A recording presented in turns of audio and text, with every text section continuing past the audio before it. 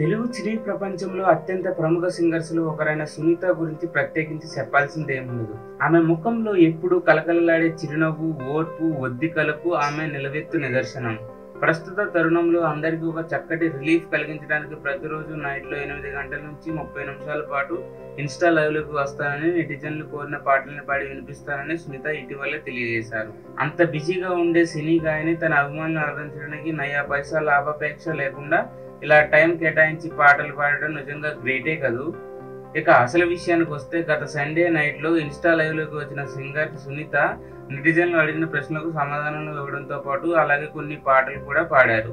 అయితే ఈ కార్యక్రమంలో ఓ వ్యక్తి సింగర్ సునీత వాట్సాప్ నెంబర్ చెప్పమని అడిగాడు. వెంటనే సింగర్ సునీత ప్రశాంతంగా నవ్వుతూ తన మధురాతి మధురమైన గొంతుతో సో సారీ అండి అంటూ సునిశ్చితంగా ఆ వ్యక్తిని నొప్పించకుండా తనదైన శైలిలో చక్కగా రిప్లై ఇచ్చింది సింగర్ సునీత.